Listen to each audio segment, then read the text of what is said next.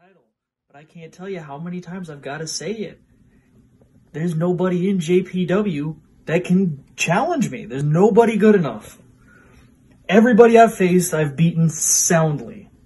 And everybody else isn't good enough to lace up my boots. So, Mr. Jay Xzavier, you say business is booming. I don't know if that's all in your head or if it's the sound of your heartbeat, if it's the footsteps that you're making in the ring. I don't know what it is.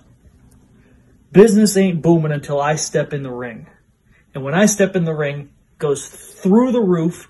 I put JPW on the map and I'd walk away with my nice fat paycheck, my beautiful wife, my beautiful kids, grab a nice cold one and celebrate like the champ does while you sit in the locker room and cry as the loser of the match. Now, I don't know what it's going to take to get you to leave me alone. You've lost once. You've lost twice.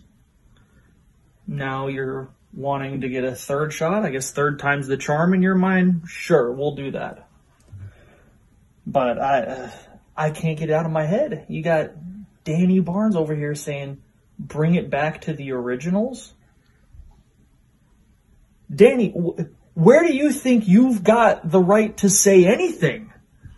When was the last time you were in the title picture?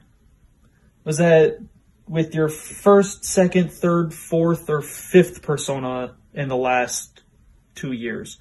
You're going to have to refresh me on that one. Either way, the champ isn't there, the gold isn't there, because the gold isn't worth being there. You put on your petty little shows. Let me know when somebody's ready to step up and face the champ. It's not worth my time coming down to play in the sandbox with you fools.